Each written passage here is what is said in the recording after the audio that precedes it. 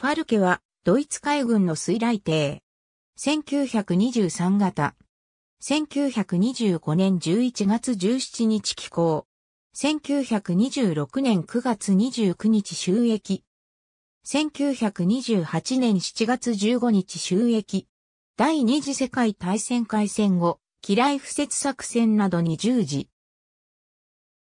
1940年6月、ノルウェー沖海戦で飛来損傷し、応急修理後ドイツ本国へ戻る、巡洋戦艦シャルンホルストを他の駆逐艦や水雷艇と共に護衛。この後も北海やイギリス海峡で機雷不設作戦など従事する。1940年10月11日、イギリス沿岸の海上交通妨害を目的として、第5水雷隊はシェルブールから出撃。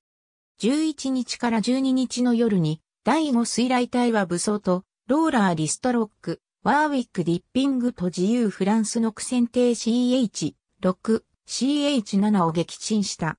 キロ、ワイト島南南西沖で、イギリス第5駆逐隊と遭遇し、追撃を受けるが、振り切って、シェルブールに帰投した。1942年2月ケルベロス作戦に参加する。3月ファルケと水雷艇、ゼイアドラー、イルティス、ヤグワー、コンドルなどはイギリス海峡を通って大西洋へ出撃する仮想巡洋艦ミヒエルを護衛した。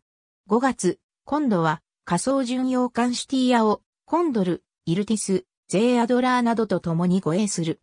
イギリス海峡を通過中にイギリス軍の攻撃でゼーアドラーとイルティスが撃沈されたが、シュティアは無事大西洋へ進出した。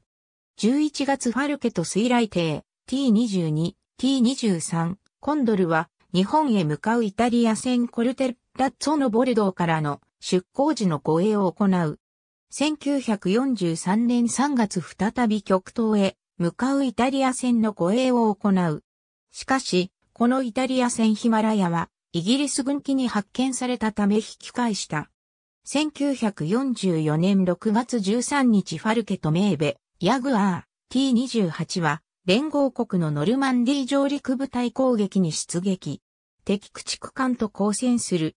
6月14日、イギリス軍によるルアーブル空襲で撃沈される。ありがとうございます。